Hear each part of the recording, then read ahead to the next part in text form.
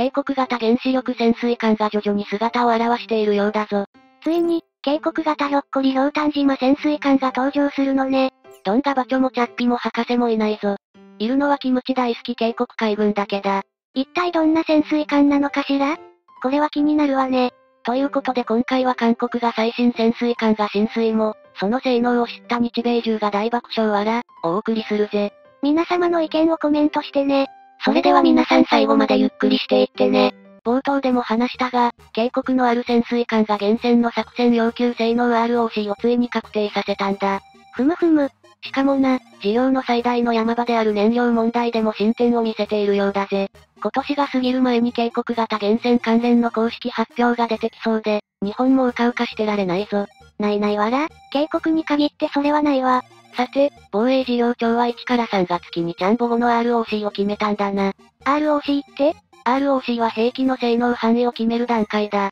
ジャンボ後の ROC によると、4000トン級原子力潜水艦として開発する計画で、実際の重量は、次長であるカルニトン数4000トンを大きく超える予定だぜ。そんなに大きくして大丈夫？それどころか、貨物や人員をすべて乗せた満載トン数は5000トン以上になるらしいぞ。また、10発ほどの潜水艦発射弾道ミサイル SLBM を搭載する机上の空論システム内蔵だ。机上の空論システムはら。そして、この潜水艦はディーゼル電気推進の在来式潜水艦だ。機体機依存推進システム AIP を備え、潜航時間が一般の潜水艦より長いが、厳選ほどではないんだな。いろいろ突っ込みどころがあるけども、とにかく海の木図になるのは確実っぽいわね。また、北朝鮮や周辺国を相手にするには速いスピードで長時間作戦を遂行しなければならないため、推進方式は原子力が在来式よりいいという判断が下されたという説明だ。北朝鮮なんて言っているけども、本当は日本と戦うため、まあいいわ。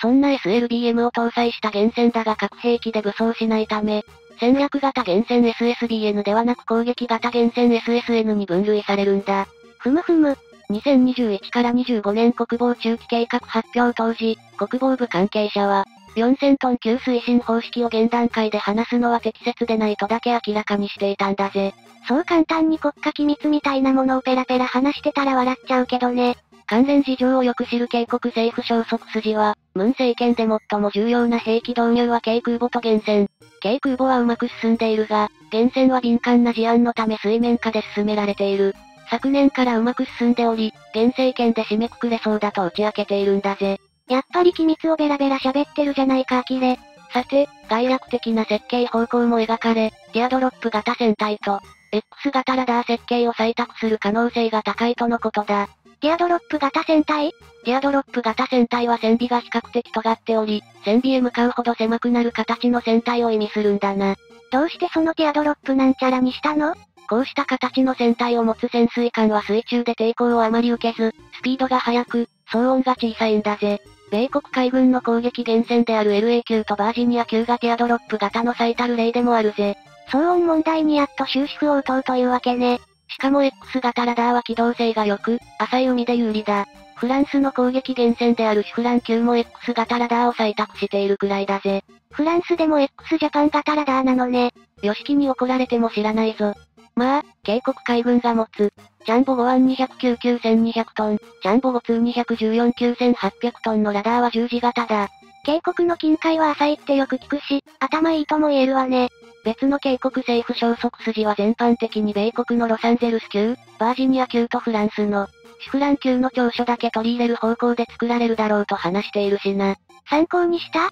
パクリの間違いじゃ。海軍は最初の潜水艦であるトサンアンチャンホから6発の SLBM を運用しているんだが、この SLBM は陸軍の短距離弾道ミサイル SRBM で、最大射程距離500キロの原部に B を改良したものだ。出たわね。警告の主力ミサイル。その通りで原部に B よりも大きく、重く、射程距離が長い。原部4の潜水艦型が搭載される可能性が高いんだぜ。そして警告の源泉保有への鍵は、国策事業として、推進できるかどうかにかかっていると警告メディアが報じているんだな。警告に潜水艦っているの？いらないと思うのは私だけかしら。そもそも警告はこれまでにも原子力潜水艦建造を何度か計画してきたが、結局実現することはなかったんだ。原子力潜水艦建造を、ではなくて、原子力潜水艦建造も、だよね。うるさいぞわら、警告は、ソ連崩壊によって誕生した新生ロシアが困難な経済状況を打破するため、原子力技術も含む軍事技術を激安価格で売りに出していることに気づき、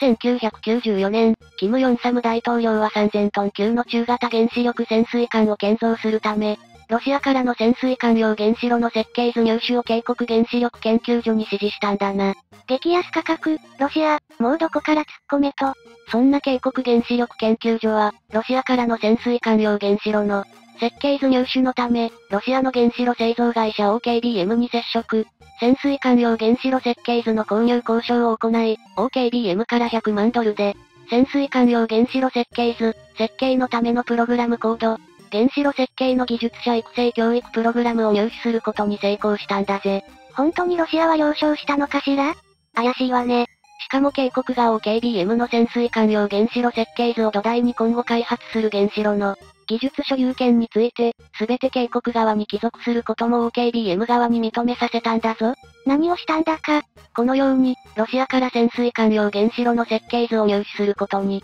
成功したが、実際に原子力潜水艦を建造するには問題が山積みだったんだな。だから、警告が建造することが問題なんだってばさ。1991年12月、警告のノテウ大統領と北朝鮮の、キム・イルソン主席が朝鮮半島の非核化宣言に合意してしまうんだぜ。すごい。潰しに来たね計画を。その通りで、公に潜水艦用原子炉や原子力潜水艦の開発が、できなくなってしまい、隠れて開発しようにも警告は核拡散防止条約に加盟していたんだ。国際原子力機関 IAEA の承認なしに開発することができないため、商用用原子炉開発だと IAEA を騙し、潜水艦用原子炉を開発することにしたんだぜ。その手があったか。その後2000年には潜水艦用原子炉が完成していたと言われており、あとは原子力潜水艦を建造するだけだったが、アジア経済危機による IMF 管理体制下の影響で計画が進められなくなってしまったんだ。お金がない？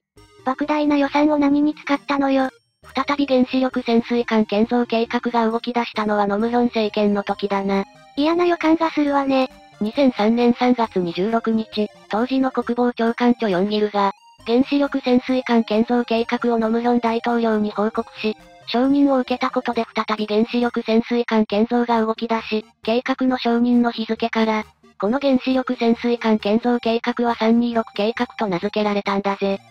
ノムロン大統領って割と問題があった人物よね？特別そんなことないぜ。あれ？そうだっけ？割と問題があったなんてレベルじゃないし、むしろ問題がなかった大統領の方が、本当に稀だから、特別のムロン大統領だけおかしいわけではないぞ。いやいや、その発想がすでにおかしいわよ。そんなのムロン大統領も汚職だらけで批判を浴び、最後は自ら命を絶っているんだぜ。ええそして時は流れ、渓谷では再び原子力潜水艦建造への機運が高まっている。というわけだ。しかし、ムンジェイン氏は大統領選での公約に原子力潜水艦建造を掲げて当選を果たしたが、南北融和の影響で、原子力潜水艦建造を公に持ち出すことを控えていたんだな。戦争始まっちゃうしね。しかし2017年、ムン氏が米国を訪問した際、トランプ大統領から警告の原子力潜水艦保有について原則的に合意したという報道が警告メディアを賑わせたことがある。嘘くさいわね。というか相手があのトランプだし。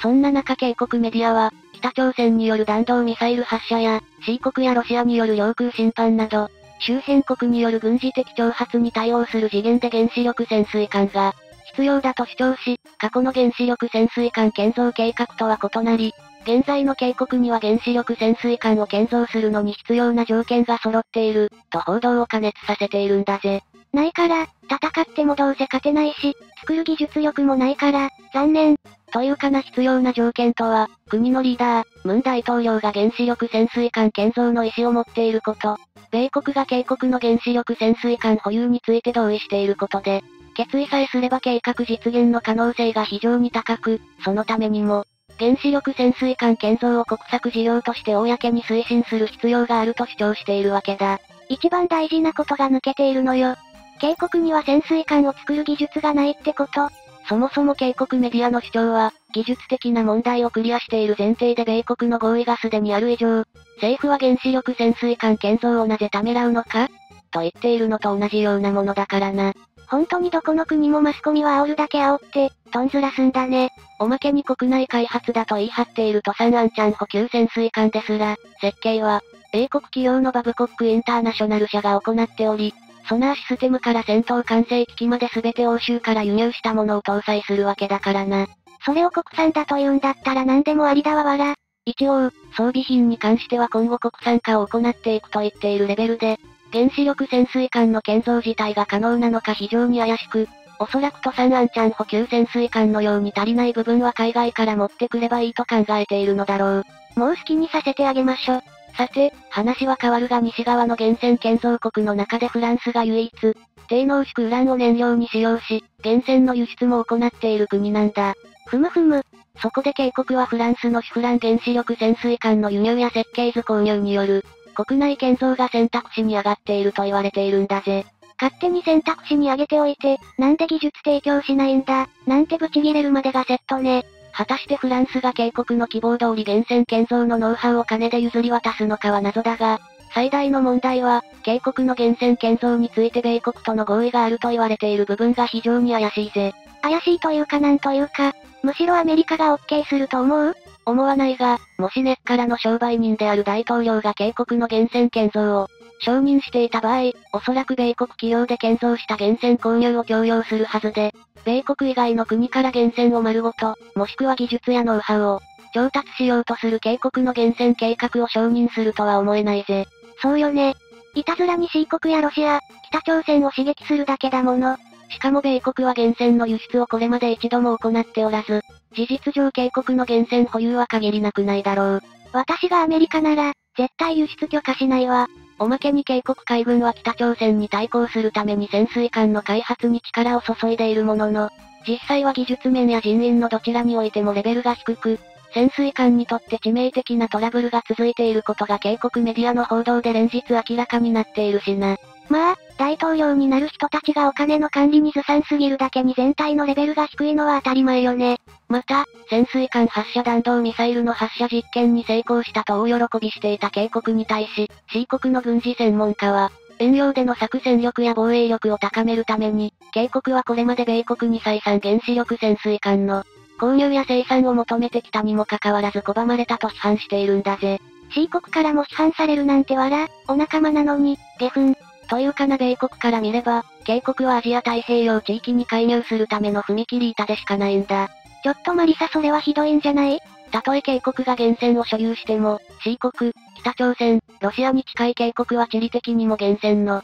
配備に適しておらず、米国の安全保障戦略上、大きな効果は期待できないからな。確かに、ぐぬぬ。そして米国の現実主義的な考えから推測すると、警告に源泉や、弾道ミサイルのような最先端の軍事技術を提供すれば、米国への軍事的依存度が低くなり、割に合わない取引でしかない、と C 国軍事専門家も言っているんだぜ。めちゃくちゃかっこ悪いな警告。もっと頑張って早く日本に追いついてね。このような歴史がある以上、警告がどんなにいい潜水艦を開発すると息巻いても不安しか残らないな。そうね。机上の空論システムじゃ潜水艦は作れないもの。これからも警告から目が離せないぜ。本日のお話はここまでだぜ。よかったら、チャンネル登録高評価お願いしますね。それでは皆さんまた次の動画でお会いしましょう。